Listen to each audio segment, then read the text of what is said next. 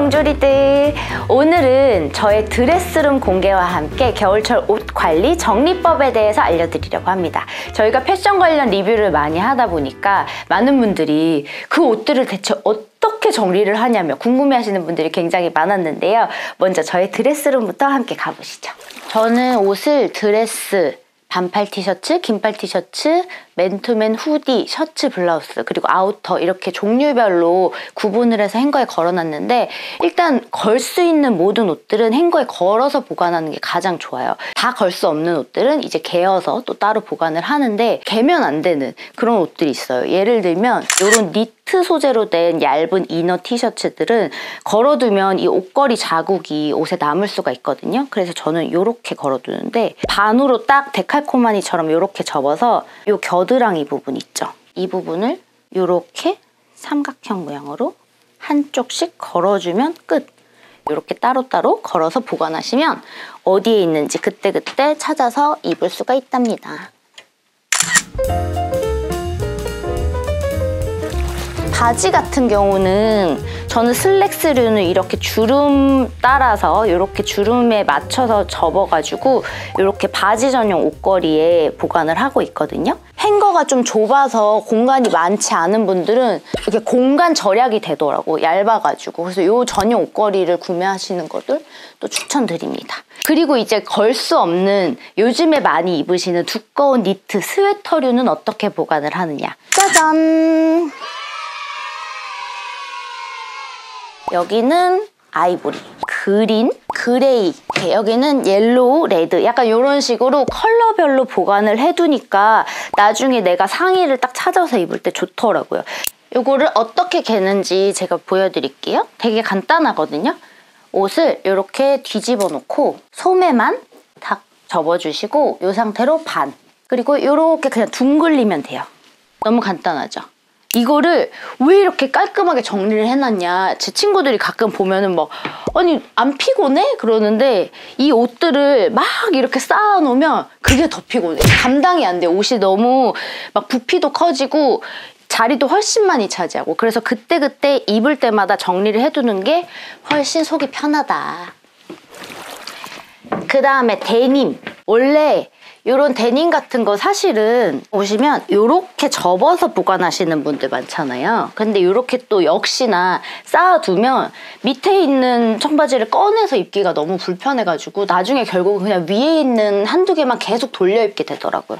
이렇게 둥글려 놓으면 이렇게 접었을 때 생기는 선이 안 생겨가지고 저는 이게 좋더라고요. 데님은 컬러별로 이렇게 여기는 블랙, 여기는 화이트 약간 이런 식으로 정리를 해뒀고 여기 밑에는 조거 팬츠 그리고 여기는 그 외에 이제 면바지들 뭐 반바지 그리고 머플러 자파들 이렇게 정리를 해뒀답니다. 그 다음은 자파인데 모자도 지금 이게 문제야.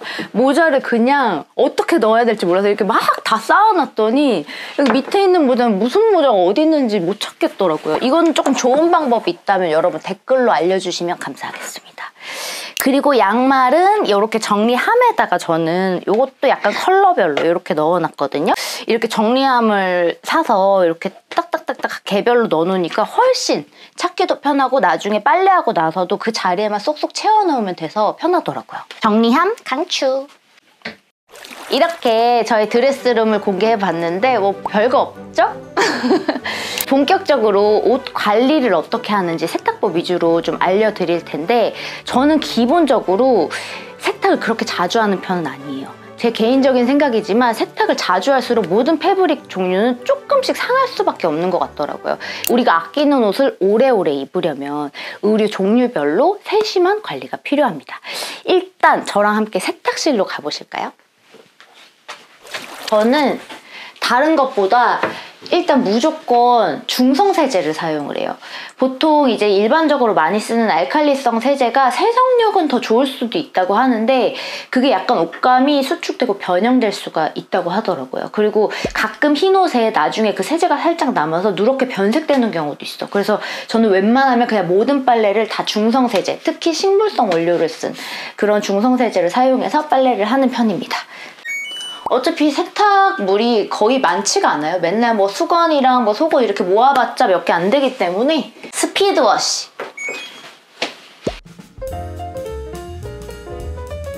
셔츠나 블라우스 같은 경우에는 소재가 하늘하늘한 것도 있고 이렇게 얇고 빳빳한 셔츠도 많잖아요. 가끔 정말 드문 경우긴 한데 세탁기에 돌리면 이 단추가 깨지는 경우가 있어. 그래서 저는 이걸 세탁을 막 자주 하지는 않는 편이고 만약에 목이나 소매 부분이 땀 때문에 조금 변색이 될 수 있잖아요. 누렇게 됐다. 그럼 그 부분만 옷 솔로 샴푸나 클렌징 폼 묻혀서 살살살살 이렇게 세탁을 해주고 부분 손빨래를 하는 편이에요. 그렇게 손빨래가 끝나면 우리가 보통 이렇게 쫙 물기를 짜잖아요. 그러면 구김이 엄청 많이 생겨 아시죠? 그게 나중에 잘 펴지지 않는 경우가 많아가지고 저는 그 상태로 스타일러에 스팀 건조 코스로 돌려버려요. 그러면 이제 TrueSteam으로 이렇게 쫙 쐬주면서 구김까지 약간 완화가 되거든요. 따로 제가 다림질할 필요 없이 그 상태로 바로 꺼내서 입거나 보관할 수 있는 상태가 되기 때문에 그렇게 좀 관리를 하는 편입니다. 그리고 이런 소재들 있죠. 실크라든지 비스쿠스처럼 이렇게 얇고 하늘하늘한 이런 소재는 특히나 섬세한 관리가 필요한데요.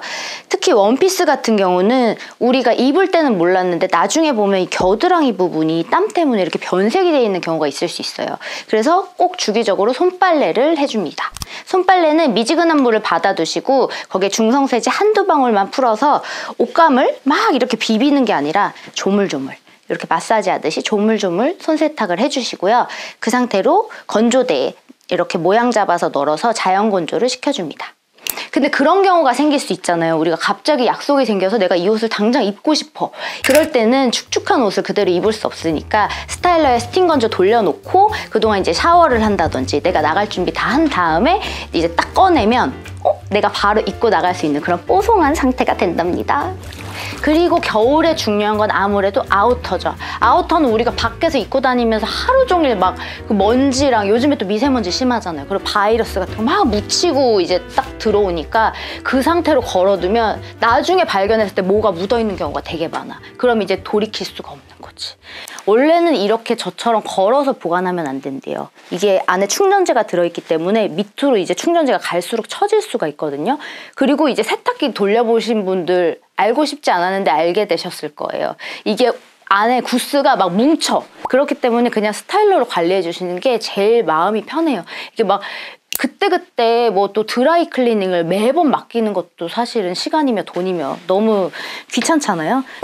같은 경우는 아무래도 대부분이 이제 울이나 캐시미어 소재로 만들어진 경우가 많다 보니까 고가가 많아요. 되게 비싸다 보니까 조금 더 신경을 써주시는 게 좋은데 일단은 이렇게 걸어 두실 때 이거를 단추만 이렇게 잠궈 두셔도 이게 모양이 딱 이렇게 잡힌 상태에서 걸어 두시는 게 좋거든요. 그래서 이런 아우터들은 이제 외출하고 돌아오면은 바로 이제 스타일러 한번 돌려주고 나서 딱 꺼내면 약간 보송보송한 상태가 되잖아요. 그 상태로 이제 자세히 보시면 이런 게다 울이기 때문에 모가 있어요. 이렇게 모가 이렇게 촘촘하게 이렇게 살아 있거든요. 이거를 이런 전용 솔 이거 아우터 전용 솔인데 천연 돈모래요. 이런 부드러운 솔로 이렇게 한번 빗어주세요. 우리 머리카락을 빗는다는 느낌으로 이렇게 살살살살 빗어주면 이 결이 약간 살아나면서 약간 윤기가 반지르르 해지는 게 보이거든요. 그때그때 딱 이렇게 걸어놔주면 진짜 새 옷처럼 오래오래 입으실 수가 있어요. 마지막으로 이런 실크 소재의 스카프나 또 바로 세탁해야 되는 운동복처럼 건조기에 돌리기 애매한 것들도 스팀 건조 따로 이렇게 시켜주면 딱이더라고요. 그리고 여기 ThinQ 앱에서 스타일러 선택하시면 다운로드 코스를 들어갈 수가 있는데요. 이렇게 보시면 엄청 디테일하게 코스가 많이 구분이 돼 있어요. 요즘 같은 때는 눈비 건조 코스도 너무 유용하고 아까 말씀드린 운동복 코스도 따로 있고요. 패딩 관리 코스도 많이 사용하시겠죠? 그리고 지난번에 제가 말씀드린 것처럼 이 ThinQ 앱 내에서 소프트웨어를 업그레이드 할 수가 있거든요. 근데 지금 보니까 이번에 이렇게 미세먼지와 습도에 맞춰서 스타일링을 조절하는 스마트 케어 기능이 나왔더라고요. 업그레이드 해볼까요? 이렇게 스타일 스타일러 하나면 거의 모든 의류를 종류별로 관리를 할 수가 있어서 저처럼 진짜 옷장이 미어 터지는 분들 관리가 너무 힘들다 이러신 분들한테 정말 유용할 것 같고요. 특히나 혼자 사시는 분들은 건조기 대신 이 스타일러 하나만 들이셔도 너무 괜찮을 것 같아요. 오늘 이렇게 저의 드레스룸 짧디 짧은 투어를 함께 해봤는데요. 스타일러의 스팀 건조기는 활용하셔서 아끼는 의류 오래오래 입으시고 야무지게 겨울철 옷 관리 해보시길 바라겠습니다. 여러분 저는 다음 주에 돌아올게요. 안녕.